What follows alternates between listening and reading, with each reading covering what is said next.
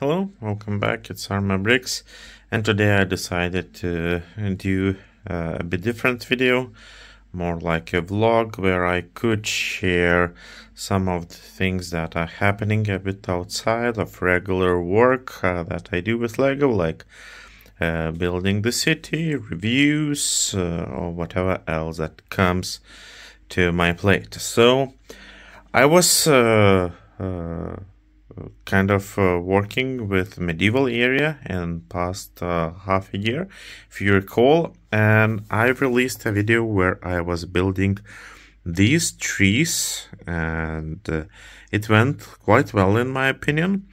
But i wanted to figure out if they could be improved somehow. And what i did i came up with buying these parts which are angled ones and I decided to put the leaf elements in an angle.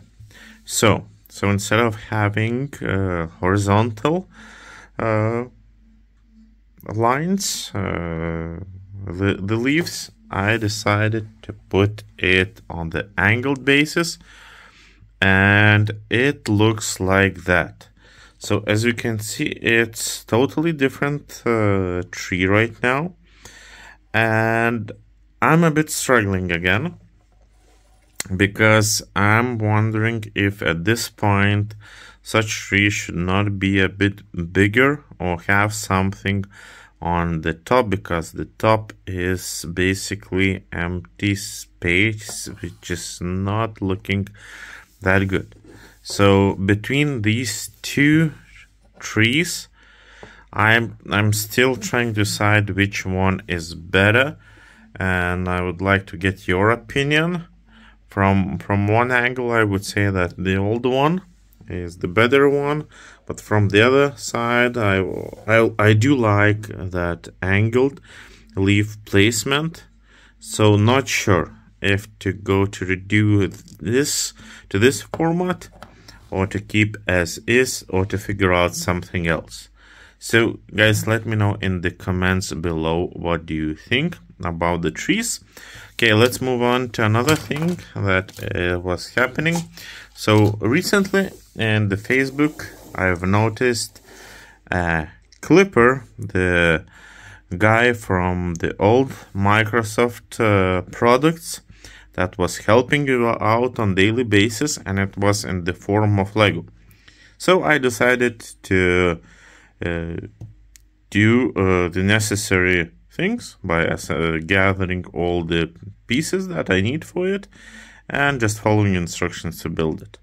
And I was really disappointed because this thing was designed in uh, the Bricklink Studio or whatever it is, uh, the, the tools that you use for the virtual creation of, of models, and it simply does not work in the real life.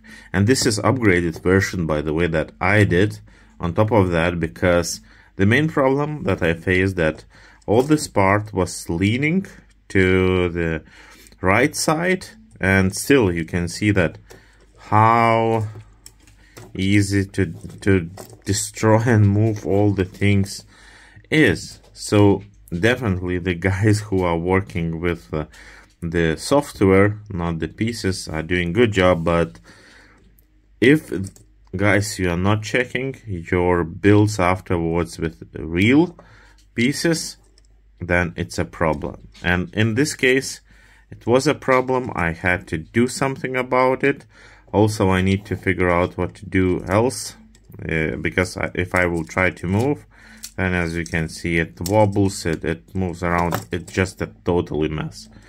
So basically I've spent uh, the money for the parts just it was thrown away.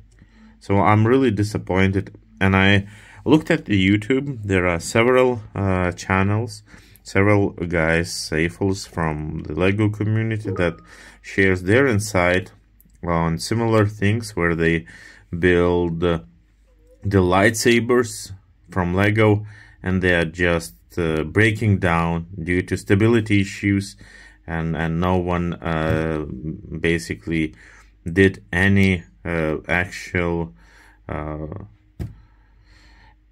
experiments or uh, try that uh, them out in the real life. So yeah, uh, be careful, guys. If you are mm, mm, buying the parts for something custom that are coming from Rebrickable or other sources, or if you are buying even instructions, take a, a look at the comments or ask the designer to check if that was built in the real life with the real pieces.